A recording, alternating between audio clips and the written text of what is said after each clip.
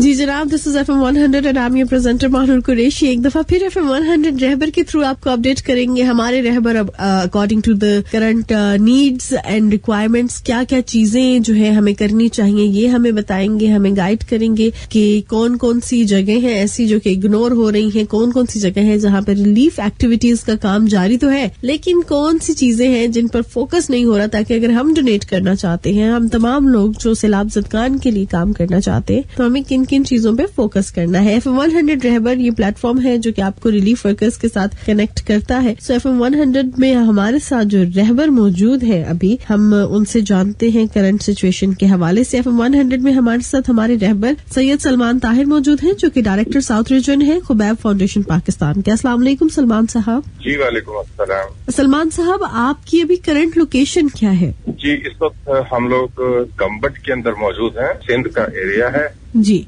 और यहाँ हमारी आज रिलीफ डिस्ट्रीब्यूशन चल रही थी जिसके अंदर हमने टेंट विलेज एक यहाँ पे कायम किया है। उसके अलावा हमारा ड्राई राशन है कुछ हाइजीन किट्स हैं वो हम डिस्ट्रीब्यूट कर रहे हैं इस इलाके में। जी। और हमारा अल्हम्दुलिल्लाह सिंध के अंदर हैदराबाद से लेकर कश्मीर तक और बलोचिस्तान के अंदर हमारी रिलीफ एक्टिविटीज़ है वो कॉन्टिन्यूसली चल रही हैं। इसके अलावा साउथ पंजाब और जो के केपीके के अजला हैं वहाँ हमारी एक और टीम काम कर रही है। सही। अच्छा बेसिकली आप जो करंट सिचुएशन के हवाले से बताएँ जिस तरह आपने कहा कि रिलीफ वक्त जारी है तो क्या लोग वहाँ की मार्केट्स ऑपरेशनल है लोग वहाँ से भी खरीदारी कर सकते हैं या क्या सिचुएशन है? नहीं इस वक्त सिचुएशन जो है वो अंदाजे से भी कई गुना ज़्यादा बदतर है। यहाँ सिंध के जो अंदर के इलाके हैं गोड क्योंकि हम लोग काम कर रहे हैं मोस्टली जो अंदरूनी सिंध है जिसे इंटीरियर कहते हैं उस एरियाज़ के अंदर हम मोस्टली सर्विसेज़ प्रोवाइड कर रहे हैं। और वहाँ के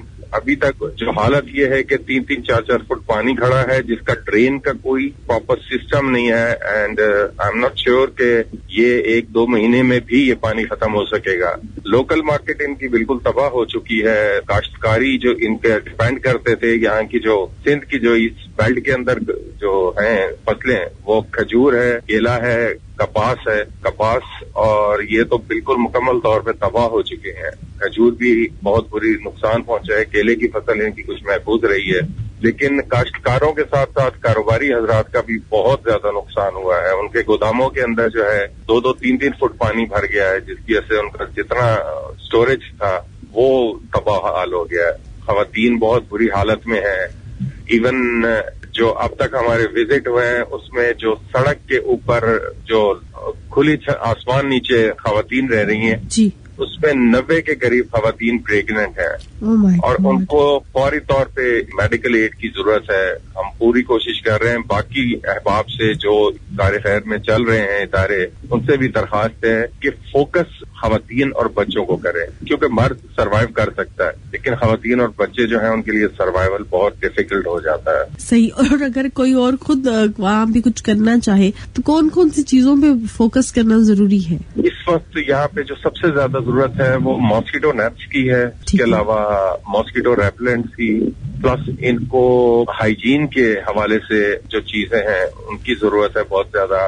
राशन वगैरह बहुत लोग दे रहे हैं। हम लोग भी अलहमदुल्ला जिस तरह से कर रहे हैं तरह कई अहबाब हैं। एक अपील जो मैं अपने भाइयों से सबसे करूँगा जो इंडिविजुअल कैपेसिटी में आते हैं तो वो प्लीज़ किसी भी मोतबर इदारे का साथ लें। क्योंकि यहाँ पे कुछ ऐसे मिसैप्स हुए हैं कुछ फैमिलीज़ अपने तौर पे आई हैं लेकिन उनके साथ उन्हें रिलीफ के दौरान एक्सपीरियंस नहीं होता कि डिस्ट्रीब्यूशन किस तरह करनी है उनके साथ कुछ नामुनासिब किस्म का सलूक हुआ है। तो इसलिए मैं उन अहबाब से भी सबसे दरखास्त करूँगा दर्द दिल सारे पाकिस्तानियों के दिल है इन भाइयों की मदद की जाए। लेकिन इसके लिए मैं सिर्फ़ ये दरखास्त करूँगा कि किसी मोतबर इदारे के साथ मिलकर ये करें इंडिविजुअल कैपेसिटी में जो है वो उन लोगों के लिए मुश्किल खड़ी हो जाती है। ऐसे कई वाकत हमने यहाँ देखे हैं। जी ये आपने बहुत इंपॉर्टेंट चीज़ हाईलाइट की है क्योंकि जब हम F M one hundred driver के थ्रू लोगों का जज्बा देख रहे हैं हमें लोग कॉन्टेक्ट करते हैं वो खुद जाना चाहते हैं लेकिन जानते हुए कौन कौन सी चीज़ों को मद्देनजर रखना चाहिए और ये आपने बहुत इंपॉर्टेंट चीज़ की कि किसी ऑर्गेनाइजेशन के साथ आप लाजमी कनेक्टेड रहे अदरवाइज़ आप उनसे ये तो जाने की तरीका क्या है डिस्ट्रीब्यूशन का। That's the most important thing कोई पैगाम देना चाहेंगे हमारे लिसनर्स को? जी मैं सिर्फ़ ये दरखास्त करूँगा कि इस वक्त हमारे तकरीबन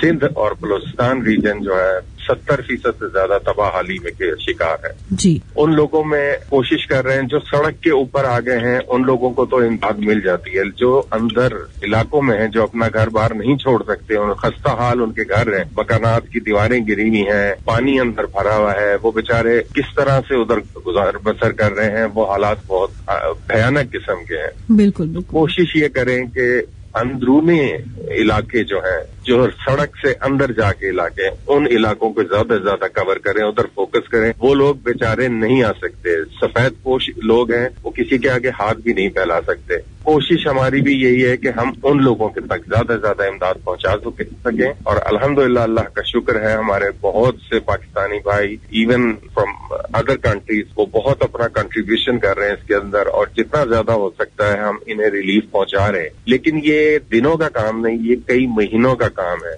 इनकी रिहेबिलिटेशन का जो प्रोग्राम है वो। बिल्कुल बिल्कुल। बहुत शुक्रिया सलमान साहब आपने हमें ज्वाइन किया करंट सिचुएशन के हवाले से आगाह किया और बहुत इन्फॉर्मेटिव चीज़ें हमारे साथ शेयर की ताकि जो हम अगर खुद भी काम करना चाहते हैं तो हम खुद भी इस चीज़ के लिए बड़े विजिलेंट हो जाएँ कि हमें क्या करना चाहिए और किस तरह मदद करनी चाहिए। बहुत शुक्रिया सलमान साहब। मैं आपका चैनल का भी शुक्रिया अदा करना चाहता हूँ कि उन्होंने हमेशा किस्म के जो भी हमारा डिजास्टर वगैरह हुआ है उसके अंदर लोगों में आगाही पैगाम ये सब पहुँचाया है। तो मैं आप लोगों का भी बहुत ममनून हूँ कि आप लोगों ने ऑनलाइन दिया और जो अंदरूनी हालात हैं वो आप तक पहुँचे आपने आगे लिसनर तक पहुँचाए। तो मेरी तरफ़ से भी एफ़ एम का बहुत शुक्रिया। दैट्स सो काइंड ऑफ़ इंशाल्लाह हम आपको दोबारा प्रोग्राम में इनवाइट करेंगे और करंट सिचुएशन के हवाले से जानेंगे। शुक्रिया सलमान साहब। थैंक यू थैंक यू जी। हमारे साथ मिस्टर सैयद सलमान ताहिर मौजूद थे। Director south region Khubaib foundation और उन्होंने हमें करंट सिचुएशन के हवाले से आगाह किया। आप मजीद जान सकते हैं क्या सिचुएशन है पाकिस्तान के दीगर इलाकों की भी। F M one hundred Rahbar पे तो सुनते रहिए the heart beat of Pakistan F M one